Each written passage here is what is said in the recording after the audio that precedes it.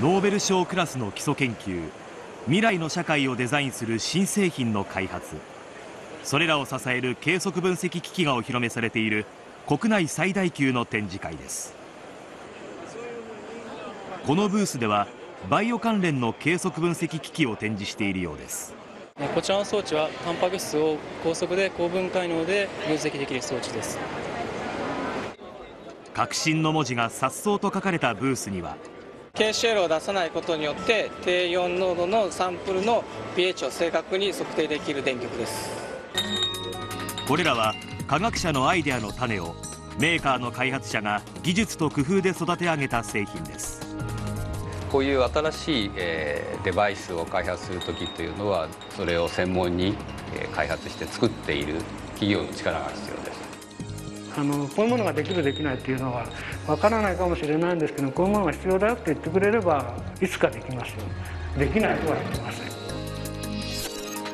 革新的な計測分析機器が生み出される舞台裏では科学者とメーカーの開発者の間でどのような連携がなされているのでしょうか。皆さんをその現場へご案内しましょう。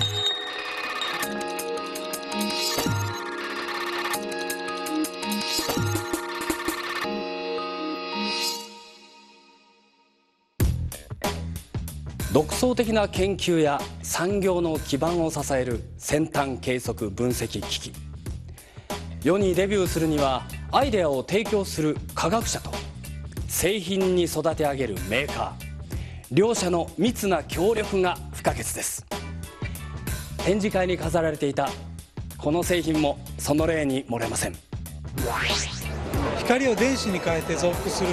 高感度な光センサーです。宇宙はそして物質はどのように生まれどのように進化してきたか。この光センサーは将来そんな究極の謎の解明に貢献するかもしれませんよ。その光センサーを開発したメーカーにやってまいりました。展示会では光を電子に変えるとお聞きしましたがあのガラスの中はどうなってるんでしょうね。こちらのメーカー浜松オートニクスが製品開発の軸にしているのは光に関する技術です。こちらが展示会に飾ってあったものと同じものですか？はいデジタル HPD です。ああこれでどうやって光を電子に変えるんですか？光が入るとここで電子に変換されまして中の真空のところを通って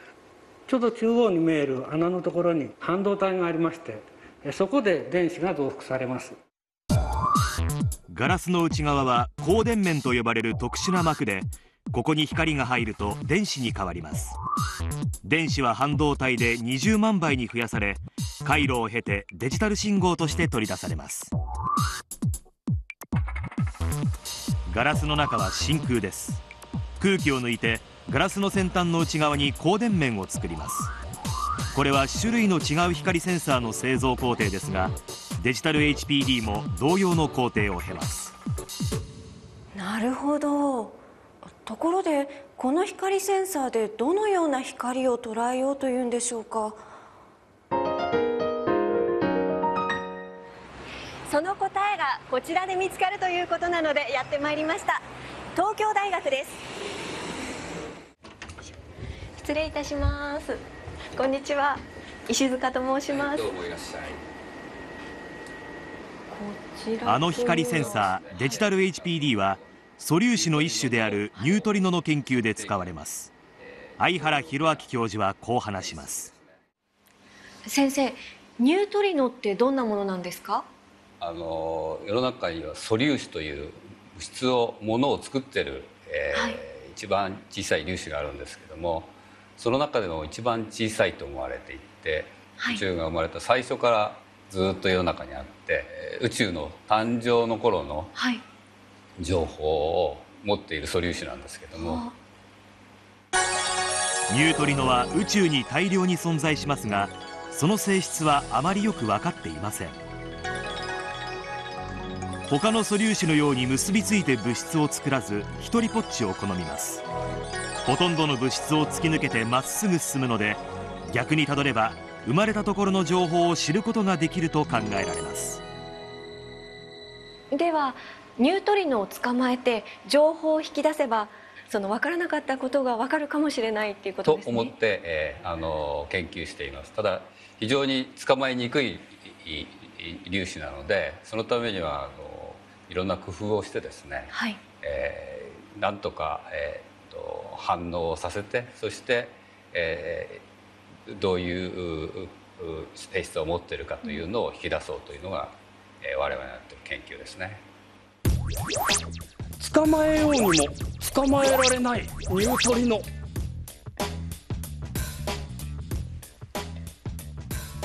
でもご安心くださいニュートリノは水と反応すると光を出すのです。ニュートリノそのものを捕まえなくてもこの光を捕まえさえすれば。ここで光センサーの出番です。この光を検出するべく巨大な水槽に水をためた観測施設が設けられたのはなんと鉱山の地下でした。デジタル HPD を開発した浜松オートニクスはニュートリノ研究の光センサー作りではすでに豊富な実績を持っています。これが鉱山の地下の観測施設で使われている光センサーですか？はいそうです。1000メートル地下の水槽の中ですとかなり水圧がかかりますよね。はいそのために放電面のところが極率を持っています。後ろも全て、えー、極率を持った形で構成されております。中の電子を増幅するところは金属のプレスで加工された電極の中を電子が、えー、一段ずつ当たりながら増幅していきます。今活躍中の光電子増倍管では光が光電面に入って電子に変わると電子は複数の電極に衝突しながら増幅されます。それらが右端の電極に集められ電気信号として検出されるのです。これは電極をガラスの中に入れガスバーナーの炎で口を封じる作業です。熟練の技が必要とされます。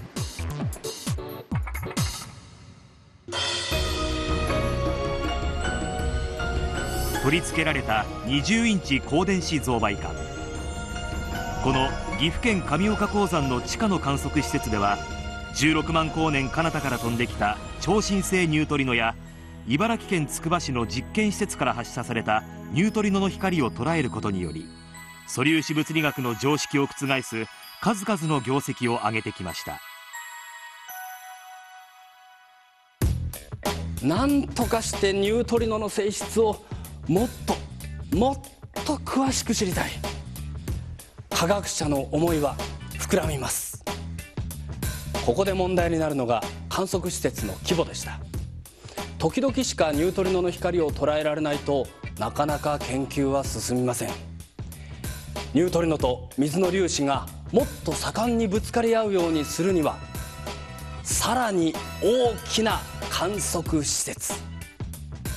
これが必要になるのです。観測施設が大きくなればそれだけ光との距離が広がります。光センサーの性能も良くしなければなりません。科学者からメーカーの開発者へはどんな注文があったのでしょうか？まず光がいつ来たかどのくらいの光が来たかということをより正確に測りたいというそういうデバイスを作ってくださいというような要求がありました。相原教授は現在構想中の観測施設で宇宙と物質の始まりと進化の謎を解明したいと言います、えーまあ、宇宙の最初にはニュートリノと反ニュートリノが同じ数だけあったんですけども今はあの反ニュートリノというのはほとんどなくなってニュートリノだけになっています。ですのでどこかで宇宙の進化のどこかでその反粒子というものが、えー、なくなってくれなければいけないんですけどもその違いがどこにあるのか。いうのを実際にですね、えー、ニュートリノと反ニュートリノというのを作ってでハイパー神岡でに、まあ、あの打ち込んでですねでその2つの粒子の性質の違いを明らかにするというのが大きな目標になっています。構想中のハイパーカミオカンデです。デジタル HPD はここに設置される光センサーの有力候補です。最初にデジタル HPD のアイデアを提案したのはニュートリノ研究の第一人者戸塚洋二先生でした。半導体というのは一度にたくさんできるので安くできるということですね。その半導体ともともとの高電子増倍化の技術をつなげたハイブリッド型を作るとあの性能も良くて安いものができると思ったわけです。従来の技術と半導体技術を結合しよう。科学者のこのアイデアを聞いてメーカーの開発者はどう思ったのでしょうか？これはチャレンジですね。本当に。今までにないもの特にあの原理的に全く違うものですのでそれを実用化するというのは本当にチャレンジです。HPD は高い電圧を引火するものですから、内部の放電というのはつきものです。そこのチャレンジがありましたけれども内側のコーティングとかあるいは構造とかを変えて対処しました。で大体できるんですよでも。難しさはあるんですけどある期間とそれこそお金とそのどうして必要だっていうかそういうのが分かればある程度できますね。私たちはもともと開発者だもんで半分にしてくれって言われたらそれは半分にします。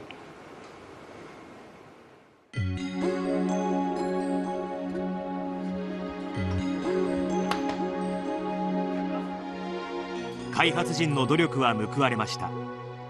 デジタル HPD の劇的な性能向上がそれを裏付けています従来の光センサーと比べるとデジタル HPD の電極は半導体素子が1つあるだけのシンプルな構造です。電子が半導体素子で一気に20万倍に増えるため光信号の時間とエネルギーがより正確に測れるようになりました。デジタル HPD はこの部分にアンプデジタル回路電源がありまして低い電圧をこの部分に引火するだけですぐ信号を取ることができます。今8インチと13インチがありますが今後はどのように展開していかれますか？このような8インチの基本形ができたものですからさらに口径の小さなもの特に学術研究だけではなくて民生用のところに展開していきたいと考えております。デジタル HPD の製品化が迫ってまいりましたが改めてどんな感想をお持ちですか、えー、今計画しているハイパーカミオカンデという計画ではですねこの100万トンの水のタンクの中に20万本の光センサー光検出器を使いますので、えー、一つ一つの光センサーの単価がですね安くならないと実際にこういういう実験装置が実現しないということになりますのでそういう意味で今回あの我々のアイデアとそれと浜松オートニクスという会社が持っている技術力あるいは開発力というのが一緒になって新しいデバイスができてそれによってコストダウンもできるしから性能も上がったというメリットがあります。科学者は私たちにチャレンジの種をくれる。開発チームのリーダー旧島さんはそう言います私たちやってるとデバイスの開発で本当にそこの中がどうなってるっていうんですけども実際それ使われるとすごい夢が広がりますよね。っていうのは超新星なんていうのは、えー、すごく昔から昔に爆発したその超新星のところの光が今見えるそれもその信号を光センサーが感じたってこれすごいですよね。まさしくあの チャレンジした甲斐があったっていうものだと思います。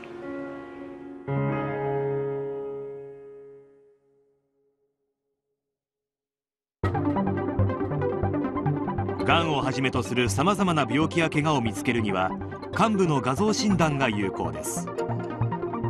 今こう出てるのは関節炎なんですね。広い意味での関節炎、まあ、リウマチの可能性もあります。画像診断では病気や怪我ごとに適切な方法が選ばれます。この MRI 画像には X 線画像では見えない部分も映っています。リウマチやその関節炎の診断にはですねあの単純写真が役に立つこともあるんですが一番現時点で鋭敏とされているのは MRI なんですね、ええ、ただご承知のように MRI というのは非常にあのコストのかかる検査でありますし台数も限られますからこの日本中に何十万何百万という患者さんを全部取ることはとてもできない。こうした状況を打破する新しいコンセプトによる X 線撮像装置が今産声を上げつつあります。これはあの、えー、救世主的な役割を果たす可能性があるんではないかと私は思っています。新しいコンセプトによる X 線撮像法とは？従来の方法では人体などを通った X 線の強弱が画像に濃淡を作ります。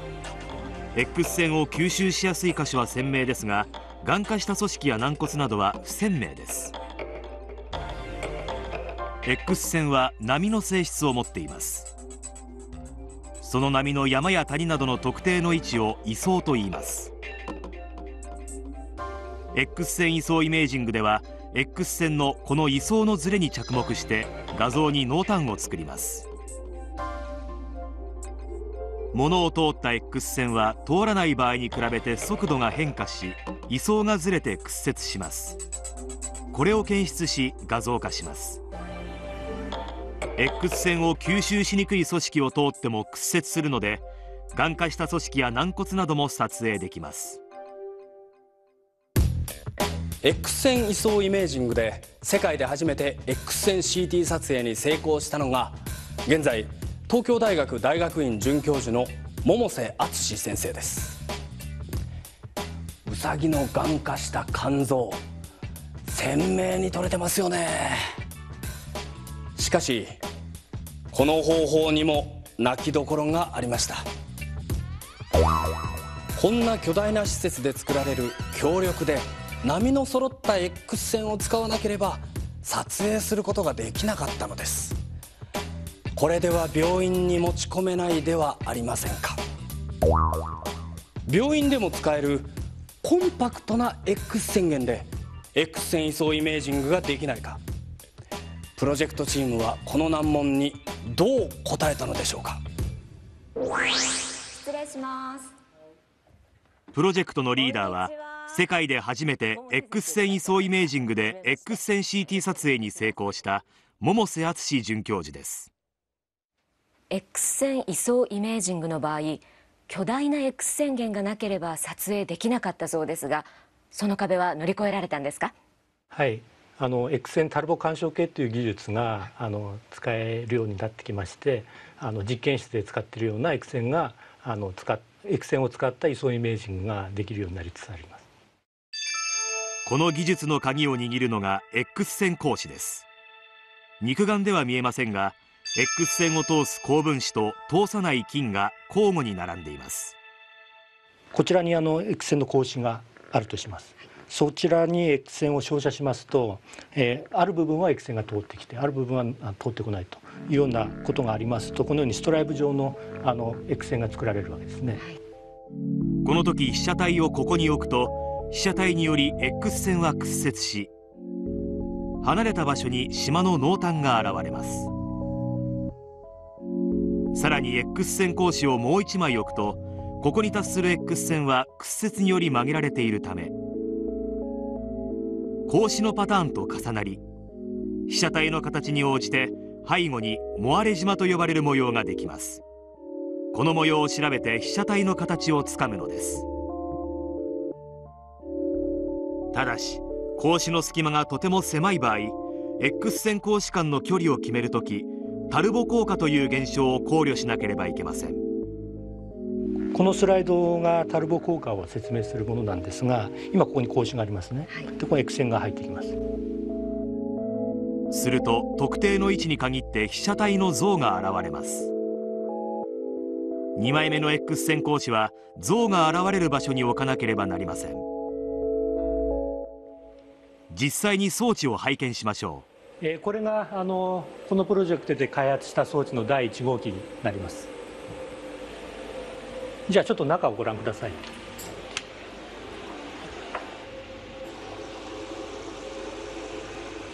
X 線がこちらからあの入ってきますけども、はい、先ほど申し上げた格子がこちらとこれになります。タルボ効果を考慮し X 線格子間の距離はモアレ島が得られるように決められています。X 線源もコンパクト。これなら病院でも使えます。タルボロー干渉計と呼ばれるこの装置で X 線位相イメージングの効果をご覧いただきましょう。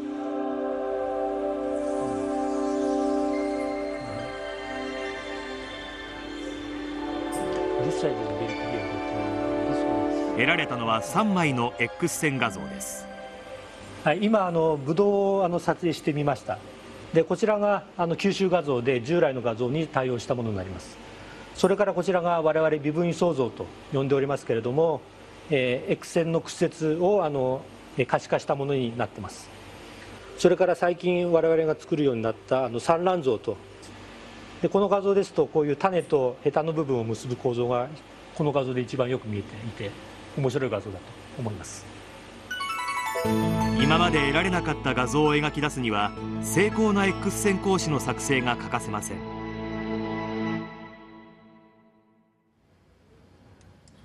兵庫県立大学高度産業科学技術研究所の服部教授は放射光という特殊な光を使って微細な立体加工をするナノマイクロ技術の権威です。長さ 5mm を切るマイクロカーをはじめ数々の微細加工にチャレンジしてきました。これらの技術が今回の解説講師の作成というふうに来ておるわけです。で作り方としましては X 線を使ってます。X 線は放射光から出しておりましてそのための X 線マスクで放射光を当てる。当てて加工しまして加工した後に金が入ってると。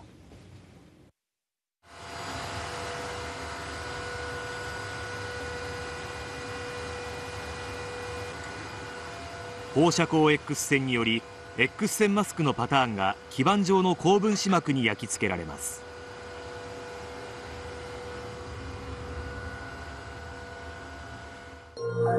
X 線格子は幅2.6マイクロメートル高さ41マイクロメートルの金を等間隔でまっすぐ並べる必要があります。ナノマイクロ技術の権威でも作成は当初困難を極めました。壁がですねお互いのこの間が、えー、ついてしまうと。あるいは波打ってよれてしまうと、まあ、いろんな不具合が出てまいりました。試行錯誤を重ね今では良品を安定して作れるようになりました。最後に部分的に金を堆積させ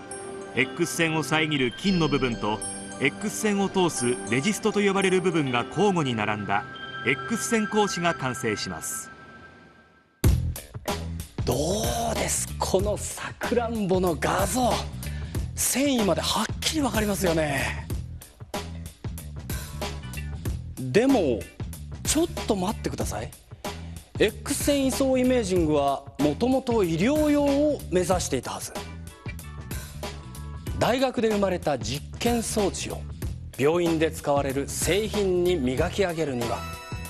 画像診断装置メーカーの技術が必要です。プロジェクトの一翼を担うコニカミノルタ MG 株式会社。製品化への推進はこの画像診断装置メーカーに引き継がれました。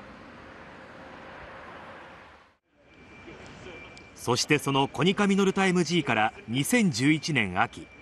埼玉医科大学病院に X 線位相イメージングを採用した革新的 X 線撮像装置がやってきました。これが革新的 X 線撮像装置です。研究室で生まれたタルボロー干渉計を母体に医療用画像を作る目的に絞り込んで開発された革新的 X 線撮像装置。X 線源もこの通りコンパクトです。ではこちらの X 線撮像装置をご紹介いただけますか。はい。こちらから X 線を下向きに照射します、はい、この中に検出器を入れております。間に1枚2枚3枚の格子を入れていることがこの装置の特徴になっております、はいで患者さんの手をこのように置きまして撮影を行います。東大の実験装置は横型でしたけれどもこちらは縦型ですね。はい。これ実際に病院に入れて撮影していただくものですので、はい、より安定してですねあの撮影ができるように横型の装置を縦型に改造して作りました。この革新的 X 線撮像装置では X 線源の間近にある最初の X 線格子で X 線の位相を揃え続く2枚でモアレ島を作り画像検出器がそれを捉えます。それではこちらに手を置いていただきます。こちら黒いところに手が来るように。実際にデモンストレーションをしてもらいました。しっかりここに腕をつけて動かないようにしていてください。はい。こちらが撮影された画像ですねこれまでの画像と比べてどこが違うんでしょうか？えーとですね、あのこの装置はあの、はい、取り出す情報を変えることによって何種類かの絵を作ることができるんですね、はい、でこれがあの従来の X 線にまあほぼ近い撮り方。でこの2つは違う撮り方なんですね、はい、X 線位相イメージングで得られる独自の画像では骨の内部構造や腱などがはっきり見えています画像診断の方法はこれまでと変わりますか？普通の撮影法で見えない部分を出すことができる可能性が非常に高いんですね、はい、で従来はあのそういう見えないところを見えるようにするためにあのお薬を使いました。造影剤というお薬ですね、はい。でそういうものを使わないで済むようにできる可能性があることが第一点と、はい、あの従来の X 線写真とは全く桁違いのあの診断能力を出す可能性があるということ。この2点が考えられますね。乳がん撲滅への期待も高まります産卵画像には吸収画像では見えない白い点が見えています。病理検査画像と比べるとこれが初期の肝内がんであることが分かります。